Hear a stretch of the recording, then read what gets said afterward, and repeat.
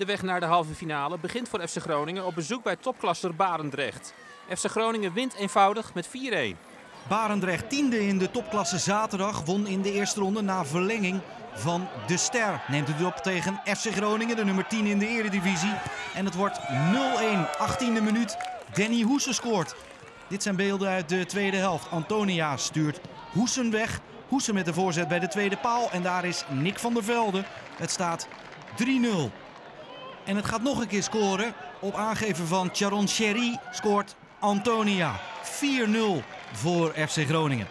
De tweede tegenstander heet Flevo Boys uit Emmeloord. En opnieuw wordt het een overtuigende zege. Groningen komt op voorsprong door een doelpunt van Danny Hoesen. Scoorde ook al afgelopen week einde. Dat was zijn eerste in de competitie. Nu dus de eerste treffer in het bekertreffen tegen Flevo Boys. 2-0 wordt het in de 28e minuut door een goal van Joël van Nief. Flevo Boys staat eh, vierde in de hoofdklasse C. Erwin van der Looy, de coach van Groningen, ziet dat deze tegenstander weinig problemen oplevert voor de Groningers. Fraaie kopbal van Michael de Leeuw voor de 0-3. In de 40ste minuut gebeurt dat. In de tweede helft loopt FC Groningen verder uit naar 6-1. Zij het met enige vertraging. 6-1 is dan de stand. Berg maakte er ooit 4 in 1 wedstrijd in de officiële wedstrijd voor eh, Groningen. De Leeuw doet nu hetzelfde. Zijn vierde treffer dus. In de slotfase wordt het ook nog 1-8. Laatste goal komt op naam van Kappelhof. Dat is een makkie.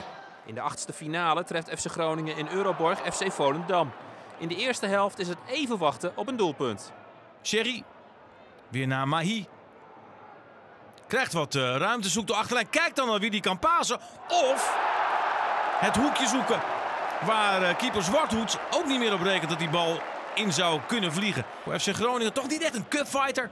Slechts één keer haalden zij de finale. Dat was in 1989. Maar hier in ieder geval weg de laatste acht. Want hier is De Leeuw met een prachtige goal. In de kwartfinale heeft FC Groningen het moeilijk met Vitesse. Maar in de tweede helft wordt de band gebroken. Krijgt hij nog voor het doel? Ja, en daar is het doelpunt. Nee, is het Hens? Ja, en dan zou het nog wel eens rood kunnen zijn. De Leeuw nu al toegezongen.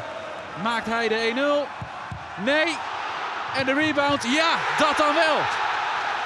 Sherry tikt hem in. De enige andere speler die bij Groningen die eigenlijk dit seizoen kan scoren. En zo leidt de thuisploeg dan toch. Van Nief.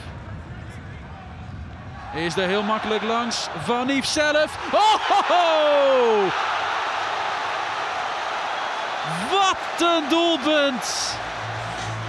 Het kan natuurlijk nog veel meer worden voor Groningen. Kieft en belt. Ja hoor. 4-0. En ook deze mag er zijn. En Bos weet, ja, het is weer zover.